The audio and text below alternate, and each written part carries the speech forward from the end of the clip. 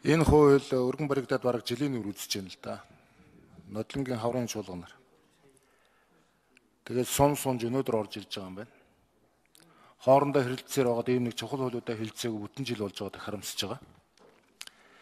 Би тэгээд нөгөө анхны хилцэх хэсэгтэр би хэд хэдэн зүйлийн тодруулга авахыг хүсээд энэ хуульд ажлын хэсэг ажиллаарай гэж ингэж хэлж исэн. Тэрийн зарим санаж байгаа зарим мартцсан байгаа. Би тэгээ энэ дээрээс тодруулга авмаар байна стандарт хэмжилзүүн нэгдмэл байдал стандартын нэгдмэл байдлыг хангахад одоо энэ хуулийн зарчмын өөрчлөлтөөр ажлын хэсэг яаж ажилласан бэ гэдэг асуулт байна. Өнөөдөр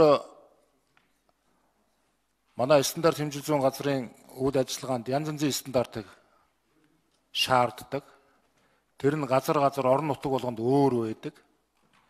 Одоо хятадын стандартлаг нь, Оросын холбооны улсын стандартлаг нь, Европын стандартлаг нь гэдэг ингээд хүн болгоно дур дураараа энэ асуудлыг ярьдаг. Тоног төхөөрөмж шахдаг. Тэрэнд нь одоо энэ төшөмдүүд холбоотой төшөмдүүд нь оролцдог. Тэр нь янз янзын хэмжүүрийн заалтыг баримталдаг. Ийм явдал Монголд бол хавтгаарсан гэдгийг би та бүхэн сануулж ирсэн. Энэ дээр одоо яг ямар өөрчлөлт энэ хуулийн дагуу орох юм бэ?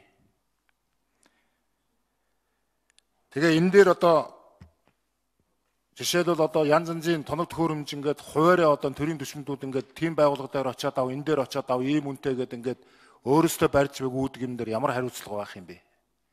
Энэ хуулиар яаж зохицуулагдсан бэ гэдгийг надад дахиж нэг хэлж өгөөч гэж.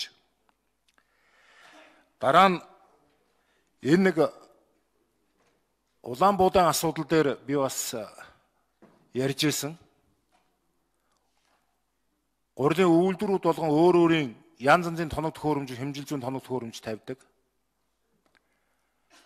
Одоо манай сэлэнгийнх нь намар ургацаа хураагаад нэг жоохон будаа хураагаад тэгээд олон янзын үйлдвэрүүд аваач өгөхлөөр зарим нь одоо нэг стандарт гарахад нөгөөд дээр нь бүр эсрэг стандартын өөр хэмжлүүд гардаг. Тэгээ энэ нь одоо буудаан үнэнд нь нөлөөлдөг. Тэгээ хөрхөн хэдэн тариалан шатдаг. Энэ дээр ямар ч хяналт байхгүй ямар ч нэгдсэн бодлого өнөөдрийн хүртэл байхгүй байгаа. Энэ хууль батлагдсанаар энэ дээр ямар өөрчлөлт гарах вэ гэж. Одоо би энэ хууль батлагдсахлаараа одоо энэ гурилын үйлдвэрүүдийн янз янзын одоо өөрийнхөө үзмжээр нэг лаборатори гэдэг нэр байгуулчихад янз янзаар ингээд будаа аваад байгаа асуудал цэгцэрнэ гэж ойлгож байгаа. Янз янзын хэмжил бүтээгдэхүүний одоо норм норматив тооцоо юмнуудыг гаргахад өөрчлөлт орно гэж бодож байгаа.